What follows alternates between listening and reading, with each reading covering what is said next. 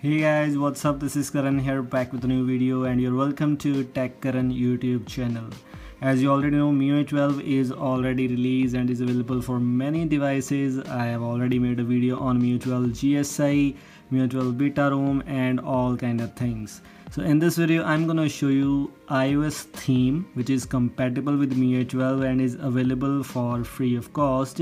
The link for that theme is available in the description. That is a third party theme. You will not find it on the theme store. So how to get that theme you already know. The link is in description. Just download from there. And how that theme looks everything in this video. So let's get started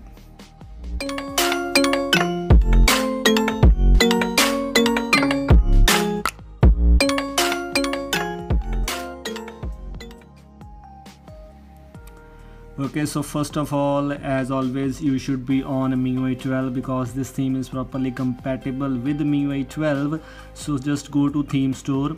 If you don't know how to import third-party themes you can watch out my video and also it is very easy to import third-party themes. If you are on a Xiaomi EU build on MIUI 12 and if you have got beta already you can import third-party themes right now.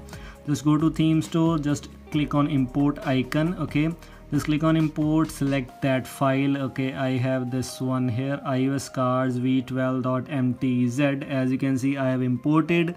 You will not see any preview here no logo at all. The author of this theme is Costantino thanks to the author for making this proper beautiful theme. How to apply this just click on apply it will start applying. It will not take that much time and yes you are done. It is applied successfully and when you go to home screen here it is as you can see all the icons looking like iOS which looks very very good. If we talk about status bar there are no options available to customize here and here are the icons which you get here.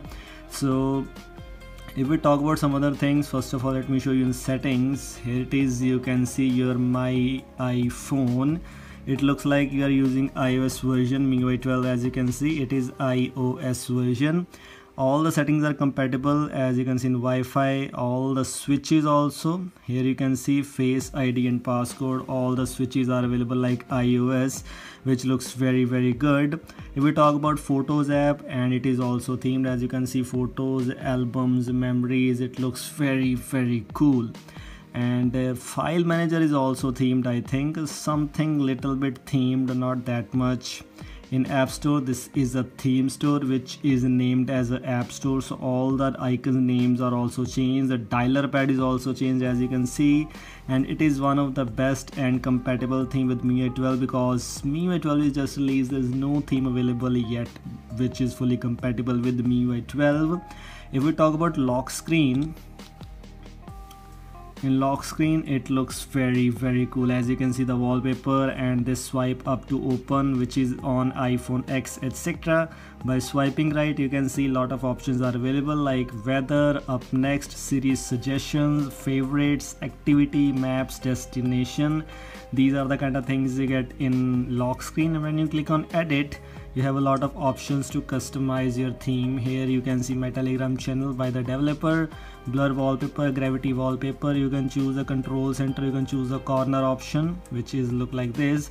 You can also choose a notch option if whichever notch you want iphone x iphone x double or don't show. Assistive touch option is available. If you want assistive touch you can get that one too. Time format charging style. When you charge your device it will show look like this. So there are a lot of options to customize your ios theme which is one of the best thing I have ever got. So this was all from today's theme.